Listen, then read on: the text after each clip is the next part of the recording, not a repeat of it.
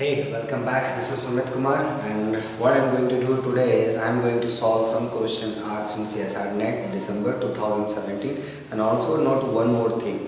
This is not about just to solve the question; it's also about to understand the question and how one should proceed to answer those kind of questions. That's important, okay? Because now coming IIT JAM exam is there, uh, your GATE is there, your uh, NBHM is there. So I hope in this video you can learn lot of things so that at the end in all of your exam you will feel very comfortable okay so this is the question about the conversion of a series and it's very easy question but you know हमेशा mistakes कहाँ होता है आसानी question में होता है क्योंकि question अगर थोड़ा सा टफ होता है टफ तो ऐसा कोई क्वेश्चन होता नहीं अगर क्वेश्चन कुछ ऐसा होता है तो आप सावधानी से करते हैं मिस्टेक्स कहाँ होते हैं आसान क्वेश्चन में हैं तो वही मैं आपको बताने वाला हूँ कि इस टाइप के क्वेश्चन में कहाँ मिस्टेक होंगे क्योंकि बहुत सारे स्टूडेंट ने बताया है कि इस क्वेश्चन को करें, सर, बहुत ज़्यादा डिफिकल्टी होती है। तो वही मैं करने वाला हूँ आपके सामने करने वाला हूँ। देखना कि कैसे कैसे इस क्वेश्चन को सॉल्व करते हैं ओके तो चलिए आइए, देखते हैं। ये क्वेश्चन नंबर सिक्सटी वन है।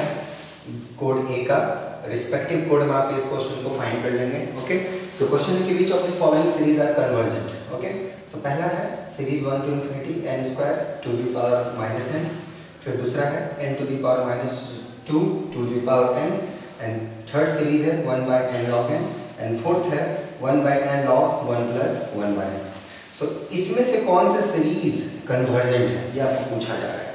तो कन्वर्जेंट सीरीज़ तो पहले आपको पता होना चाहिए what do know by convergent series you should also know what do mean by divergent series all that so ये सब चीज़ें बेसिक चीज़ आपको पता होनी चाहिए। Do I have some sufficient conditions for convergent okay fine अगर कोई आपको सीरीज़ दे दिया गया एंड दे आर आस्किंग ये सीरीज़ कब कन्वर्जेंट होगा? अगर ये सीरीज़ बोलेगी, ये सीरीज़ कन्वर्जेंट है कि नहीं, कि इसके लिए आपके पास सफिशेंट कंडीशन है इनफ कंडीशन है कि भैया अगर कन्वर्जेंट है, अगर ऐसा हुआ तो कन्वर्जेंट होगा।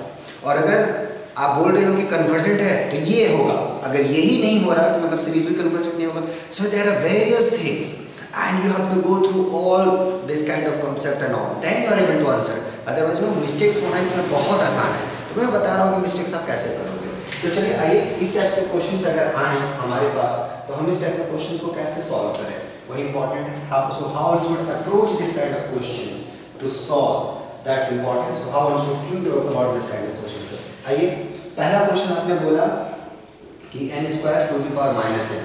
Look at this thing First you should look at this what is your an here an is n square to the power minus n है ना इसको थोड़ा सा और अच्छे से लिखिए n to the power 2n Now this is exponential, so you can bound that. You know, to the power n को आप आराम से लिख सकते हो. इसको आप आराम से लिख सकते हो n square. To the power n को आप लिख सकते हो n log 2, and this is a positive number.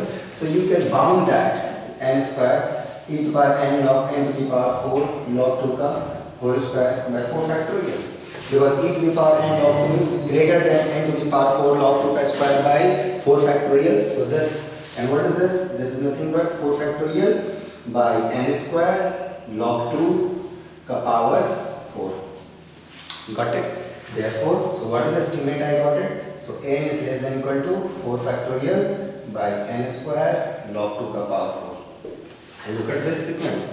This is this behavior is nothing but 1 by n square and we know that this series is convergent hence this series is convergent by comparison test so you should know the comparison test if you don't know the comparison test, you are not able to solve these questions. This is, this is, this is, this is, this is, this is. So how easily I have done this, okay? So this is called comparison test. Apply your comparison test, you got the result, okay? So this series is convergent You should also know, so, so the fact, what I have fact I have used here. So fact is, this series is convergent if and only if p is greater than 1 okay? So, here is your n square and now apply your comparison test. You will get the result. Okay? So, ऐसे इस type के questions को आपको करना है. ऐसे इस type के क्वेश्चंस को आपको सोचना है. और इस टाइप के क्वेश्चंस को आपको डील करने के लिए ऐसा ही चलना होगा. तो आइए सेकंड सेकंड ऑप्शंस पे आते हैं. सेकंड ऑप्शन क्या है? और सेकंड ऑप्शन को ध्यान से देखते हैं. सेकंड ऑप्शन जो है आपका, वो है n to the power minus two to the power ये ना? ये ये आपके सीरीज़ के बारे में क्या बोलेगा?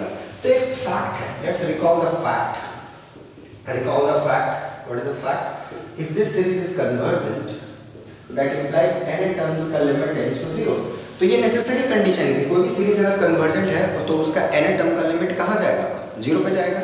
Here what is the n term? So n is here, n to the power minus 2 to the power n.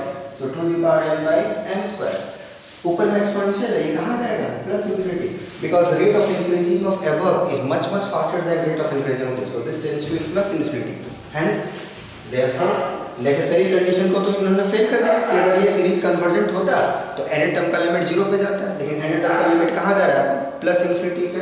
Therefore this series is divergent ठीक है? तो ये सीरीज़ आपका क्या आ गया? डाइवर्जेंट आ गया। ठीक है? तो ऐसे। आइए थर्ड नंबर पे आते हैं। थर्ड नंबर के क्वेश्चन को डील करते हैं। थर्ड नंबर क्या है? सो so, ये ये थर्ड नंबर जो है आपका ये क्या है? One by n log n ये है ना?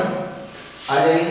सो हेयर हेयर आपका एन जो है that's one by n log n ठीक है? सो so, इसके लिए फैक्ट रिकॉल कीजिए. If you have a positive sequence okay and if n is decreasing if n is decreasing towards 0 then this series is convergent if and only if to 2 to the power n into a to n.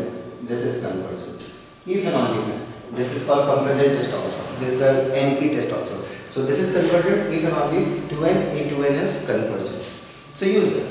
So this this fact I am going to use here. So I leave this as an exercise. Please do. Please do it. Not for me. For yourself. Please do.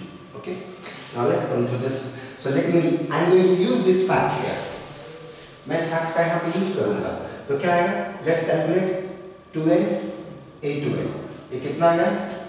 ये नीचे कितना आ गया? Two n log two the power n है ना? तो cut के कितना आ गया? एन लॉग टू देयरफॉर ये सीरीज़ कन्वर्जेंट तभी होगा जब ये सीरीज़ कन्वर्जेंट होगा। But this series n log two is divergent ये सीरीज़ क्या है? आपका डाइवर्जेंट है। Hence, this series is also divergent simply okay? Now, let's come to the fourth option. What is the fourth option? Fourth option is about 1 by n log 1 plus 1 by n. This इस series के बारे में आपका क्या ख्याल है क्या ये सीरीज़ कन्वर्ज करेगा कि डाइवर्ज करेगा क्या आप बोलते हैं चलिए recall this fact so fact is this log of your जो भी है 1 plus x जो भी आपका positive that's always than equal to 1 plus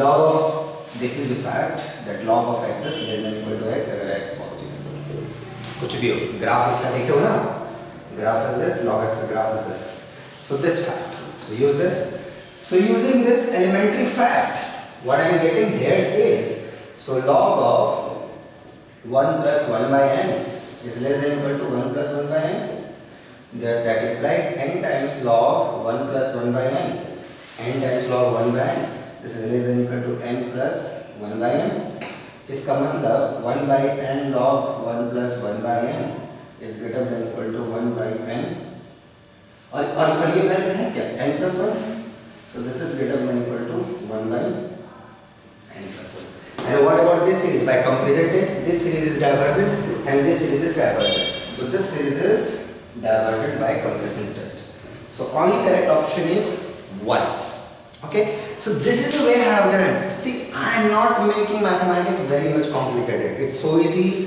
If you go through the basic stuff, you can really learn. See, I can't give every concept in a video, right? So it's also your duty to go through it and analyze yourself. Give your 100% where you are making mistakes. What is the difficulty? What is happening here? Go through it and please Take your feedback from your mistakes. Don't repeat those mistakes again in coming exam. or sir, there was silly mistake and all such nonsense. That's not going to work. Okay. Stay positive and keep motivating yourself. Go through it and do good in your exams. Okay. Not about the exam. Also in coming future, whatever you are learning in mathematics, that's important. So be positive. Okay. Don't demoralize yourself. You are going to do very well in coming exam. I know that so be positive okay? And subscribe my YouTube channel if you're not subscribed so far. And like my Facebook page Noble Forum India. And stay connected. I hope I'll see you soon. So thank you for watching my video. It really means a lot for me